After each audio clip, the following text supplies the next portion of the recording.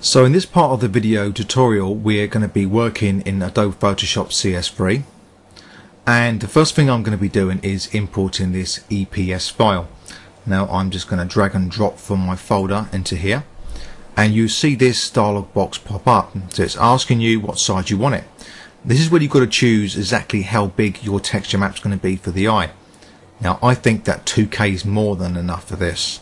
You can get away with 1K map easily so I'm going to go for a 2K just to get all of that quality in there.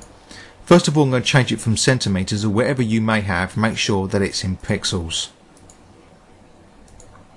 And I'm going to type in 2048 for a 2K map. And click OK. Now the first thing that you'll notice is, is we've seen nothing.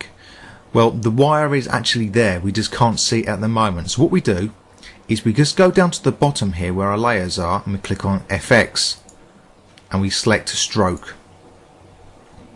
Now you can see now instantly this wire appears. We just want to change the colour from red to a black at the moment. And that's great. We'll click OK. Now for every other layer that we create from here onwards, we just make sure that this stroke layer that with the stroke effect on always remains at the top. This means that we can always see the wireframe over the top and we don't have to keep on adjusting the opacity of our layers that we're actually working with. The wire will always be there. With that said, I'm going to go to the view menu and make sure that snap is turned on and I'm just going to make sure that also rulers is turned on as well. See there rulers, control plus R and this is going to help aid us in a minute. So I'm going to drag one down to the center point. You can see here the X and the Y. If we just turn off this layer for the minute, we can see we've got a center point where the actual eye is. Now we're going to make a brand new layer and we're going to drag this layer underneath the current layer that we've got which is obviously our EPS file showing the wire. Now I'm going to create a base layer at this particular point um, with a certain color that we want and I'm going to be using a gradient. This keeps things quite simple. So this is what we're going to do for the gradient. We're going to go over to the left hand side where the bucket fill is and we select the gradient tool.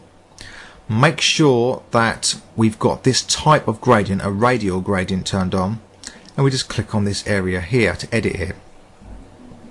Now you can keep on adding, you can see here, additional colours to the gradient just by clicking underneath here. I'm going to delete that. And you want something set up so that we've got a pink going to a light grey blue. So that's just select this area here. And it'll take a little bit of, of tweaking. So I want to go for my kind of dark kind of reddish colour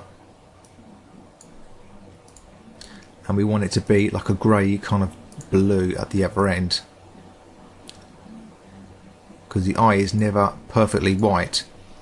Let's try that.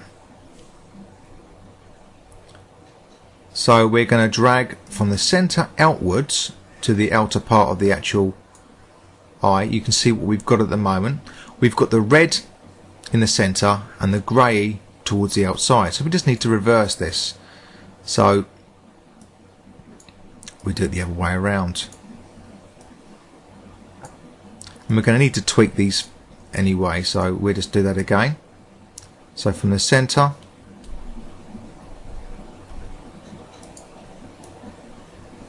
to the outside.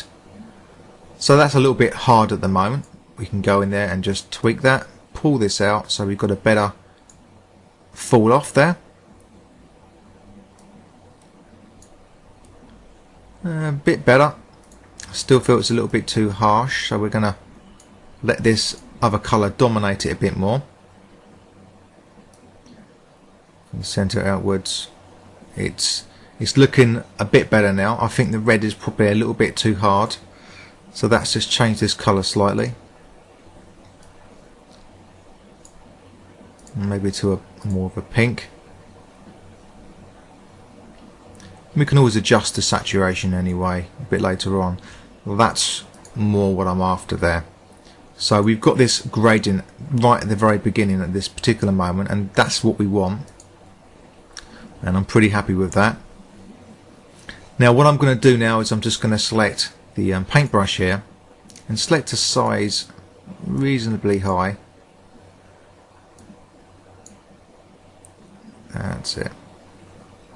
And I want it to be big enough that it's sort of like extending a little bit further out than where our iris is going to be. And the colour I want to select here will be a kind of grey kind of blue. We just click once to see what we've got. Now I've got the opacity at 23% you can see up here. So I can just click a couple of times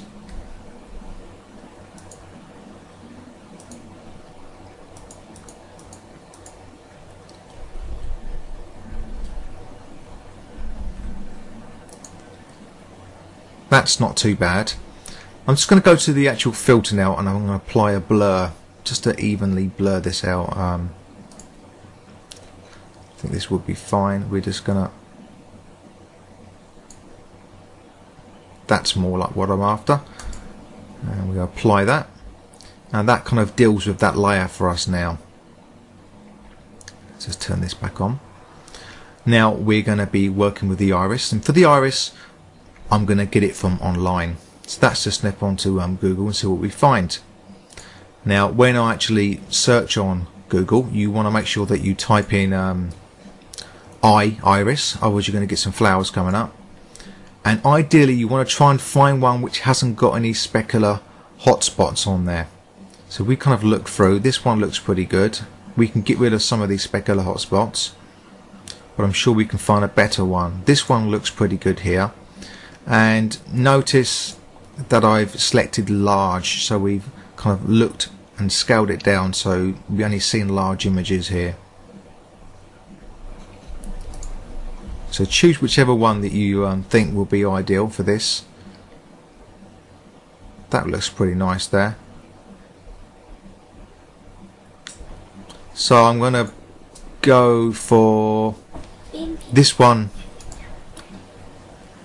right here.